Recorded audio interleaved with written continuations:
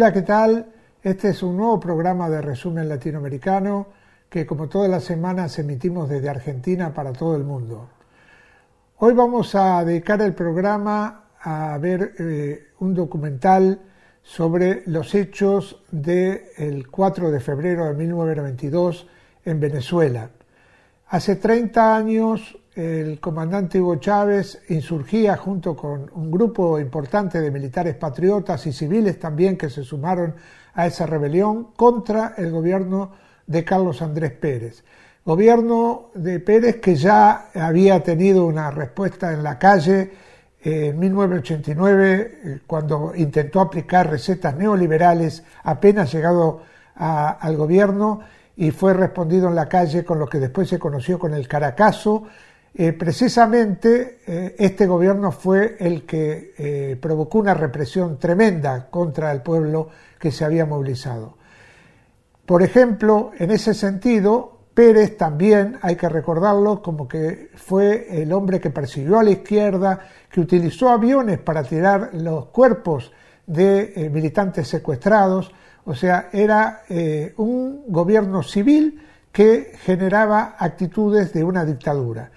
Eh, contra todo eso, este grupo de militares encabezado por Hugo Chávez eh, produjo un levantamiento, pero fracasó. Fracasó, como dijo Chávez, en el, por ahora, en el sentido de que no se habían dado las condiciones para obtener la victoria, pero que la insurgencia iba a continuar y de hecho después hubo otro levantamiento hasta que eh, eh, cuando Hugo Chávez sale de la prisión comienza ya la escalada hasta 1998 donde gana las elecciones y genera toda esta experiencia importante en el continente que es la revolución bolivariana. Eh, recordar los hechos del 4 de febrero es recordar la valentía, la fuerza y la ideología de Hugo Chávez el, espíritu de Hugo Chávez eh, impregnado en unir a los militares que estaban muy desvalorizados por la represión del 89 con el pueblo. Y esto, eh, vaya si lo logró Chávez, que eh, durante todo su gobierno generó la idea de que la revolución bolivariana era una revolución pacífica pero armada, y armada precisamente en la unión pueblo y ejército. Este eh, nuevo aniversario encontró al gobierno de Nicolás Maduro junto con una movilización importante para homenajear precisamente el espíritu del 4 de febrero del 92 y homenajear sobre todo al comandante Hugo Chávez. Vamos a ver este documental donde protagonistas de esa insurrección eh, cuentan lo que la misma significó en ese momento.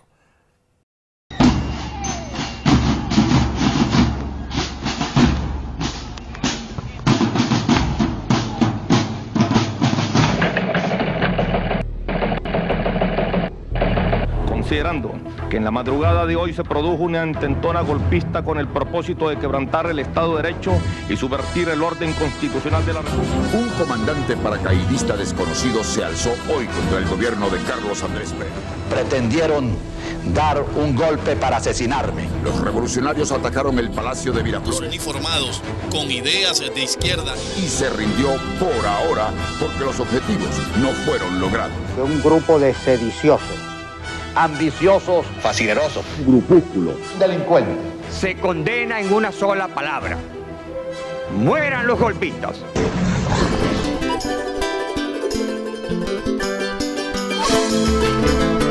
Que realmente eso lo que quería era mejorar la situación del país. ¡Una verdadera democracia! ¡No donde se estén llenando los corruptos! Aquí falta comandante Arrecho, como comandante que sacar esta huevona, esta dictadura, esto es una dictadura. Sí los apoyo porque mira, el, pueblo está cansado de lo que está viviendo. Para nosotros somos los héroes porque lograron despertar en el pueblo eso que estaba así como como dormido, estaba así pero como, como eh, eh, ¿cómo te digo? Como guardadito pues en una gaveta. Un líder aclamado por cientos de miles de venezolanos que curiosamente saben muy poco de él y de su filosofía política. Pero este no ha sido un intento de golpe como el de Argentina o Haití los militares rebeldes y el movimiento revolucionario bolivariano 200 no son vistos como una amenaza. Mucha gente piensa que el comandante Hugo Chávez es un héroe.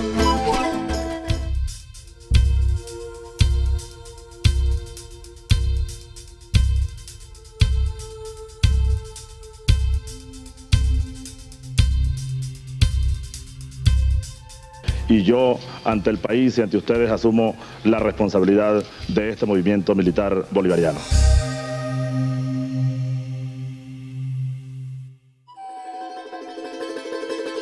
Es un día de esos para la historia.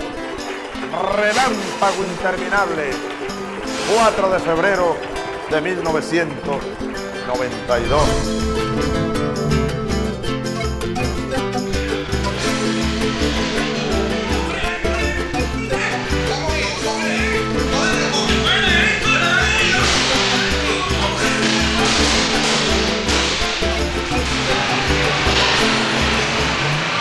Ya es tiempo de reflexionar y vendrán nuevas situaciones y el país tiene que enrumbarse definitivamente hacia un destino mejor. Me sentí muy orgullosa porque hasta ese día no supe la clase de hombre que, que era mi hijo. No sabía hasta dónde llegaba su valentía. Estos jóvenes soldados, un 4 de febrero hace ya 20 años, se levantaron en armas contra el sistema establecido y con esta acción no solo irrumpieron en la historia, sino que cambiaron su curso. Para conocer lo que pasó en aquellos días los buscamos y algunos de ellos nos contaron la parte de la rebelión que les tocó vivir. después vamos a escribirlo, ¿no? No, no que le quede, son como cuatro. Sí. Sentate, sentate. Tienen que entrevistar a este que este era el médico de la unidad.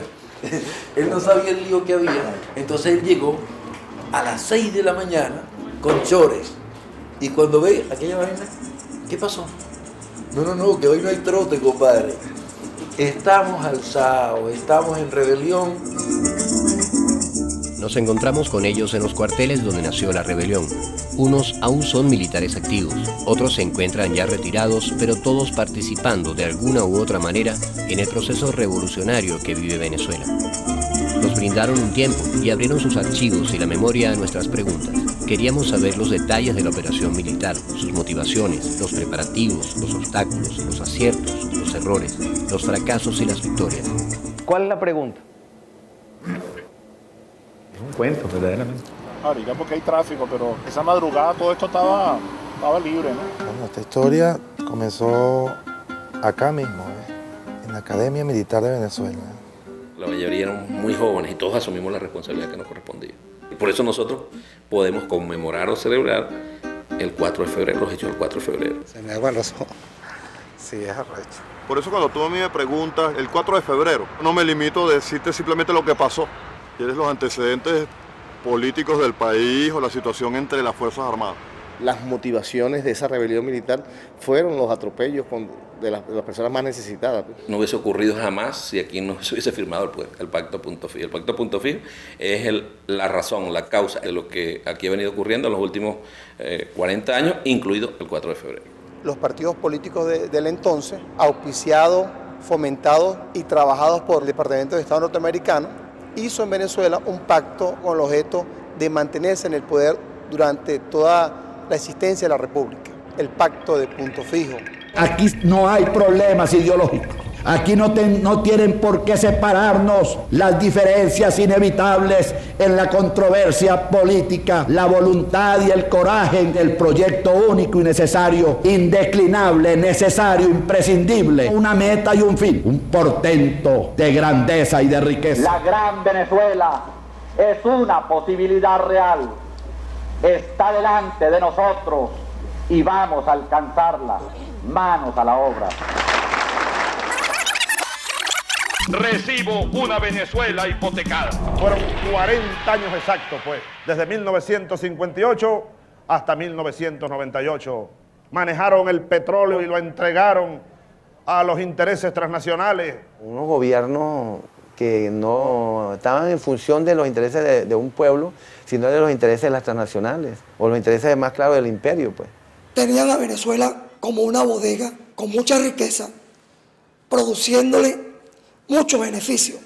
El equipo que para el momento estaba al mando Acción Democrática, como podría ser COPEI. Los pobres servían únicamente para ir a votar cada cinco años. Los veían como que esas personas no tenían derecho a más nada sino a obedecer a lo que decía la burguesía, a lo que decía esa gente de la alta sociedad, de la clase eh, pudiente. Entonces yo decía, pero ¿por qué? Si el hecho de que de repente yo sea más pobre no quiere decir que yo no tenga derecho a la salud. Entonces eran esas cosas que yo no entendía. Yo cuando llegaban las elecciones, que llegaba aquel proceso de Copey, aquellas caravanas, aquellas cosas, yo me indignaba. Fuerza de la esperanza, camino abierto del futuro, hombre de decisiones, Carlos Andrés. En aquel entonces el carnet político ADECO, la recomendación de Gonzalo Barrio o la amistad con, con un copellano, depende de quien estuviera, era vital para, para tener espacio. Para yo poder trabajar la primera vez en mi vida, mi tía tuvo que sacarme un carnet de acción democrática. En esta tarde plena de luz, estoy perfectamente seguro de que mía, de ustedes y del pueblo será la victoria. Pero cuando yo veía todo eso, de verdad que decía, ¿hasta cuándo? Pero es que es una miseria, era algo tan grande que no era justo. Y yo veía que había petróleo, y había petróleo, y había petróleo, y había petróleo, y más petróleo. Entonces no era justo. Y vimos todos los pasos que venía dando nuestra falsa democracia, fundamental en una generación que se perpetuó por muchos años. Se tenía al pueblo y al ciudadano normal, común y corriente, como algo apartado eh, del estamento militar. Era la separación prácticamente de lo civil de lo militar. Más que eh, comprometerse con los grandes problemas de la patria, eh, la institución militar eh, pudiéramos decir que estaba hecha para reprimir al servicio de esos antiguos gobernantes que realmente estaban a espaldas de la realidad del país.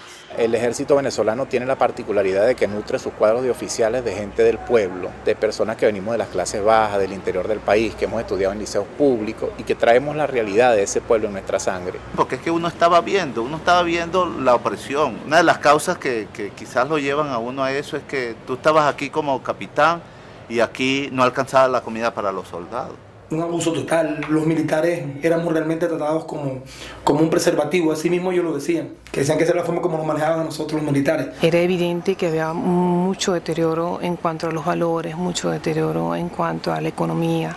Aquella famosa frase de sembrar el petróleo pues nunca se cumplió en realidad lo sembraban en otra parte porque el pueblo no sentía esa siembra, no sentía el beneficio. Y era triste pues ver una sociedad tan hermosa, pero que estaba estancada en manos de personas que, que no hacían nada sino desangrarla y defalcarla. Mucha gente pasaba hambre. En aquella oportunidad uno veía que la gente comiera hasta perrarina. No podían comer tres veces carne a la semana. Por lo menos nosotros teníamos una profesión y sabíamos que a un poco íbamos a recibir un sueldo pero cada día la pobreza era mayor. Era una situación difícil, pues, y eso lo fue incentivando a uno, lo fue incentivando. Son las cosas que quizás te convencen más que mil discursos cuando tú veías este, el país en esa decadencia. Todo eso se iba como que acumulando, eso fue como un detonante. Entendíamos que algo tenía que suceder. Incentivar que algo diferente pasara, porque no podíamos seguir como estábamos. Verdaderamente no confiamos en los, en coroneles, no confiamos en los generales. Era el sentimiento de la mayoría de los profesionales, era el sentimiento de nosotros, los oficiales del cuadro medio. Habían ciertos oficiales que nosotros sabíamos desde la escuela que tenían un ascendiente moral alto con todos los compañeros nuestros. Habían sido nuestros instructores en la escuela, habían sido, si se quiere, nuestros padres en la vida militar. Cuando llega el comandante Chávez a la Academia Militar como oficial de planta y empieza siempre a reunirnos y a hablarnos de, Bolívar, el profundo conocimiento de la historia.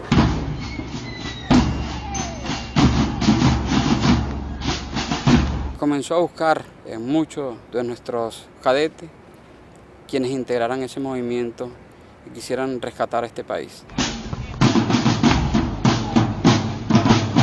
Ayudaron a, ser reflexivos, a ser críticos, a valorar la, a hacer análisis político, a valorar la situación. A lo largo de esos, de esos nueve años previos a la rebelión militar del 4 de febrero, eh, estuvimos constantemente en actividades dedicadas a preparar, organizar se conformó el movimiento cívico-militar, se organizó el EBR, el Ejército Bolivariano Revolucionario, luego el MBR 200 y ese 200 recordemos que tiene que ver con el bicentenario del nacimiento del Libertador, 1983. Uno juraba integrarse al movimiento bolivariano con la idea de luchar por la liberación de las cadenas que estaban oprimiendo a la sociedad venezolana, al pueblo venezolano. Y juro por mi patria que no daré descanso a mi brazo ni reposo a mi alma hasta que haya roto las cadenas que nos oprimen. Bueno, ya a partir desde el año 83, este, este grupo de, de- de jóvenes militares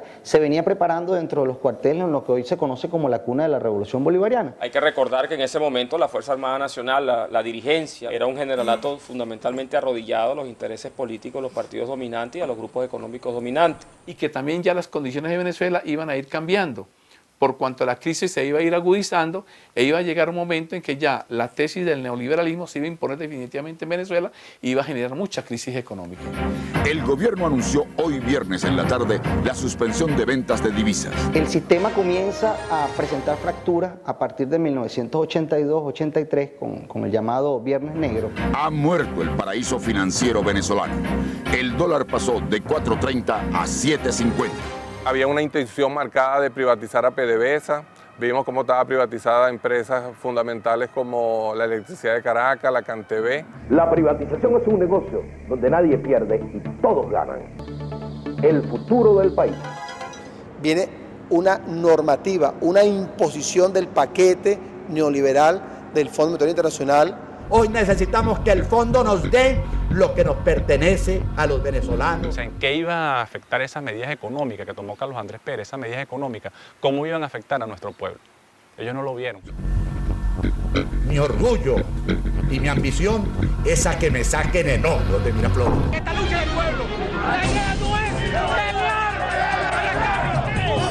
El Caracazo lo muestra de una manera muy cruda lo que estaba pasando dentro de la sociedad venezolana. Ese aguantar de tantas políticas injustas, políticas eh, que condujeron pues a, a esa grave crisis en las calles de Caracas, así como en los Tequis y en otras ciudades, nosotros vimos descarnadamente pues el desespero de la gente. El gobierno militariza las calles y suspende las garantías constitucionales. Los altos mandos militares de la época ordenaron reprimir a esa población que estaba saliendo simplemente porque tenían inmensas necesidades no atendidas a través de los años.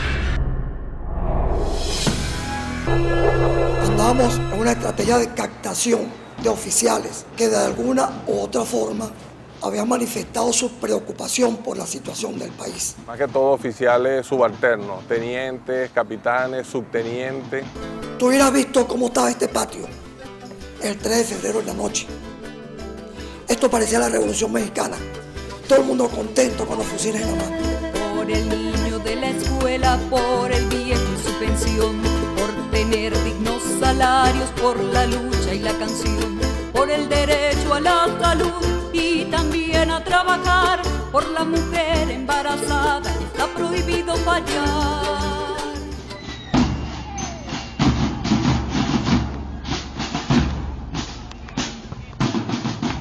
Yo estaba en el Concripto, en la Alcabala 3, y cuando llegó al mediodía me espera Blanco Costa y me dice, escóndete que el DIN te anda buscando, esta noche es la cuestión. Esa noche ciertamente ya los organismos de inteligencia estaban relativamente funcionando. Por supuesto, había todo, todo un tema de, de tensión. Uno lo veía. Muchos ya estaban detenidos, otros estaban fuera de los cuarteles. Ya estamos delatados, pues ya nos habían delatado un oficial de aquí de la Academia Militar, nos había delatado. Recuerdo que Acosta Chirino dijo, bueno, así nos hayan delatado o no nos hayan delatado, yo voy a hacer la operación porque a mí no me van a hacer preso en el cuartel, a mí me van a hacer preso disparando. Ya el tema no era si tener éxito o no tener éxito, el tema era que teníamos que salir, teníamos que hacer esa insurrección ese día porque no había marcha atrás.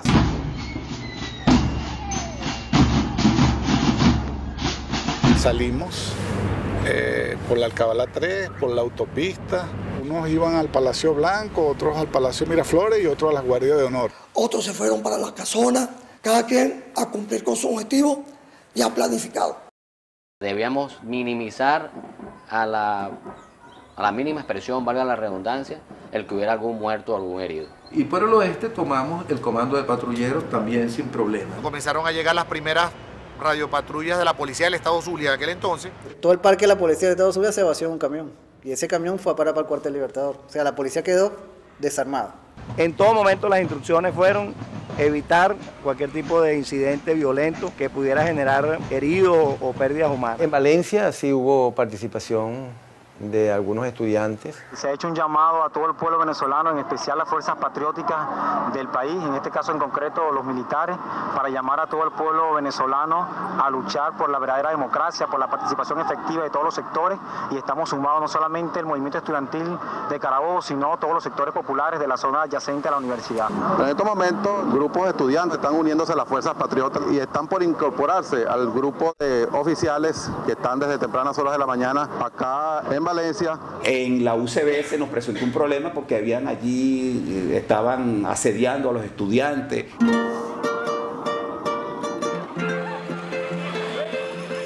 Llegó hacia el área de Naguanagua, donde está la Facultad de Ingeniería. Ahí sí hubo un intercambio con la Guardia Nacional.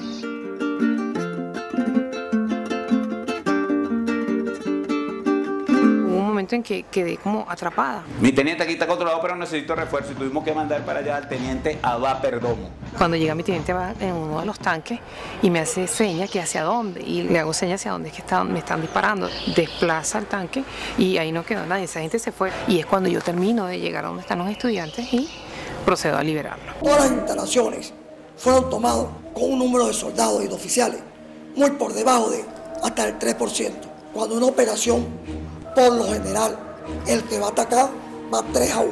Nosotros éramos 0.5 contra, bueno, no sé qué cantidad. Nosotros pensábamos inclusive que había de la Fuerza Aérea nos iban a apoyar. Entonces nosotros durante toda la noche, particularmente yo pensaba era cuándo se iban a levantar los F-16 en apoyo.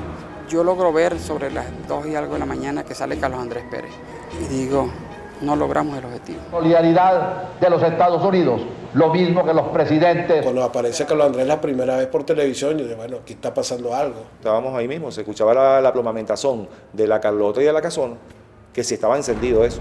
Entonces yo tengo que tener alguna señal, más allá que el presidente despelucado, que salía despelucado y todo así, controlar, yo no, ahí está mi comandante, esos tiros son de mi comandante que está ahí, fajado. Y los soldados están conscientes de lo que están haciendo.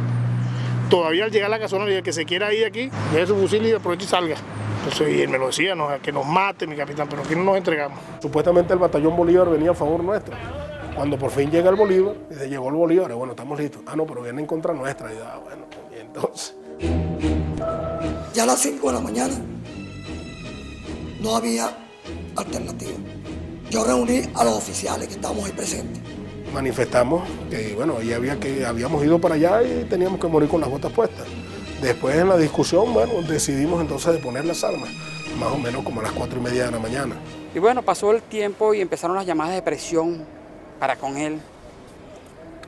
Y llega un coronel que estaba encargado del Museo Histórico y le pasa el teléfono.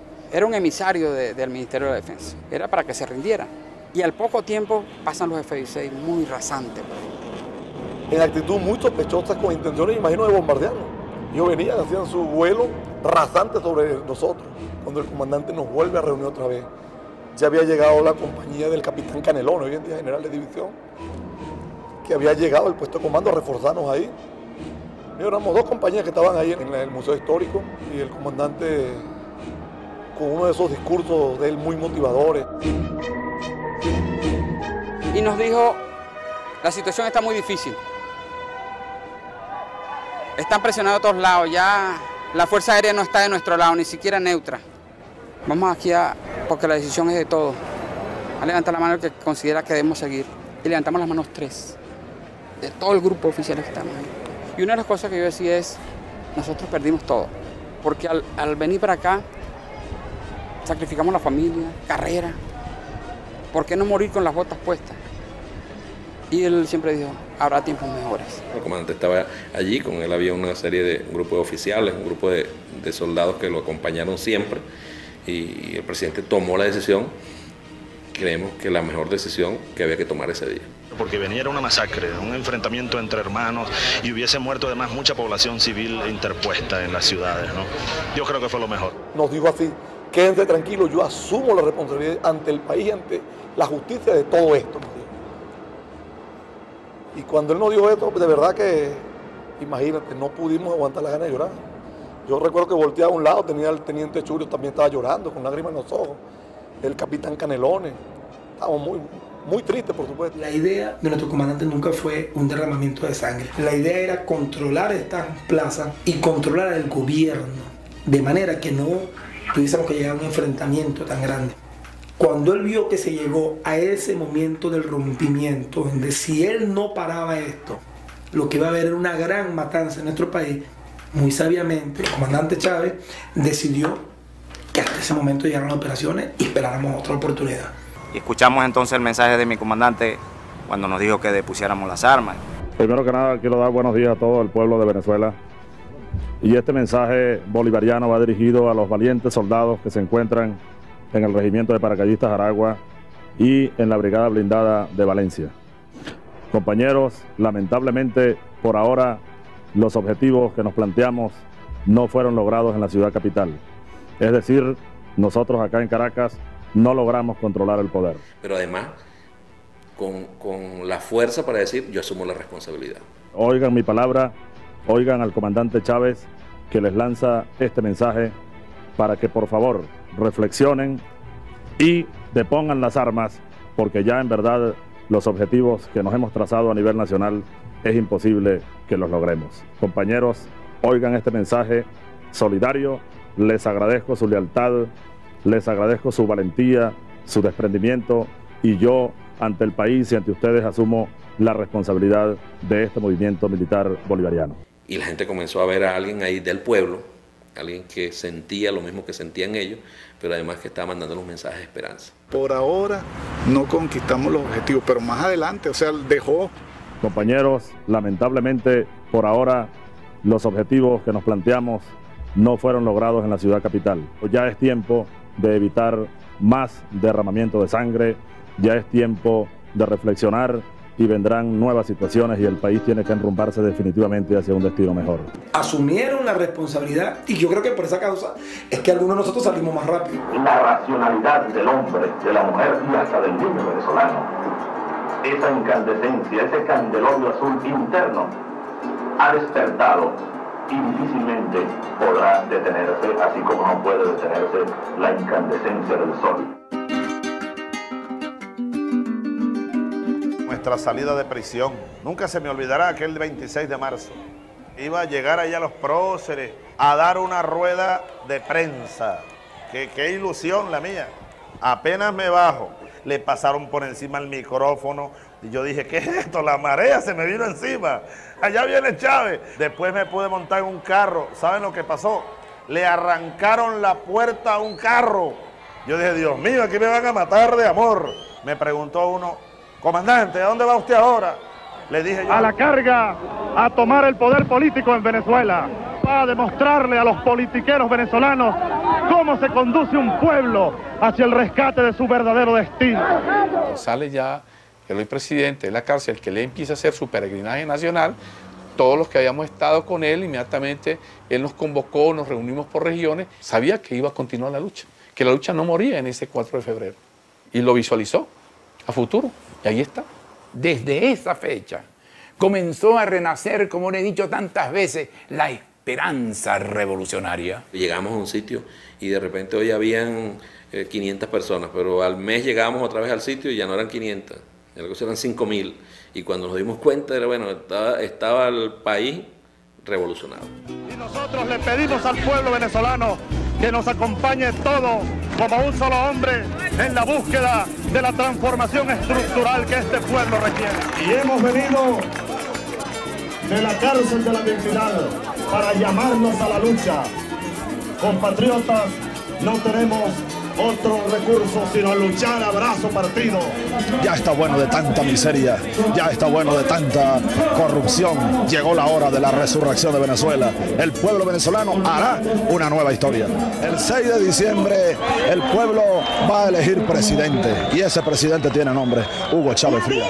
se la yo a Chávez.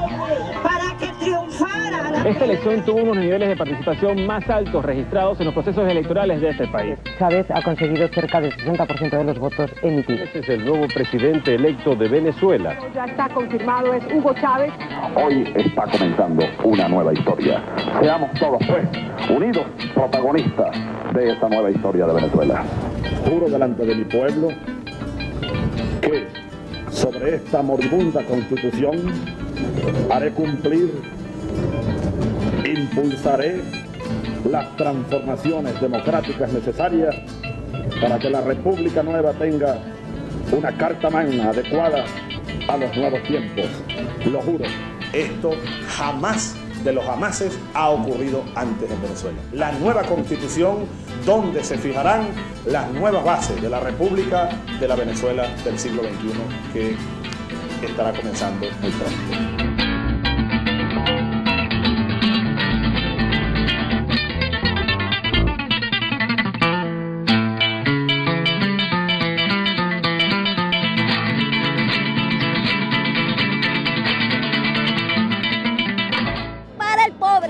Para los ricos, porque los ricos quieren para los bolsillos de ellos. Porque Chávez les ha dicho la verdad. ¿ve? Entonces, eh, anteriormente la gente no decía nada porque todo el tiempo era mentira. Yo les prometo, les digo, pero como nadie cumplió, pero como ahora este le dice la verdad, el que coma y que se pique, como él dice, eso es lo que yo digo. Yo 100% lo apoyo a Chávez. Y por esa razón, todos los días que me queden a mí de vida no son míos, sino que le pertenecen al pueblo heroico de Venezuela. Yo viviré todo lo que me quede de vida para entregarme por entero a la revolución bolivariana, a la construcción del socialismo venezolano del siglo XXI. Y después de ver este documental nos despedimos eh, hasta la próxima semana con más resumen latinoamericano y los invitamos a ver eh, los eh, anuncios de quienes sostienen este programa que hacemos desde hace muchos años. Banco Credicop te ofrece la mejor herramienta, Sí Pago, para que puedas aumentar tus ventas cobrando desde tu celular, cuando quieras y estés donde estés. Vender más, Credicop siempre te acompaña. Banco Credicop Cooperativo, la banca solidaria.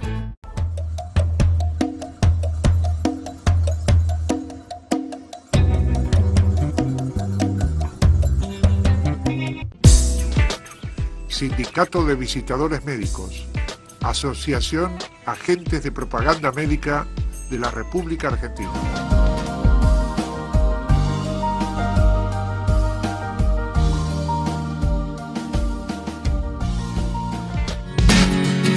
Asociación de Trabajadores del Estado, Central de Trabajadores Argentinos.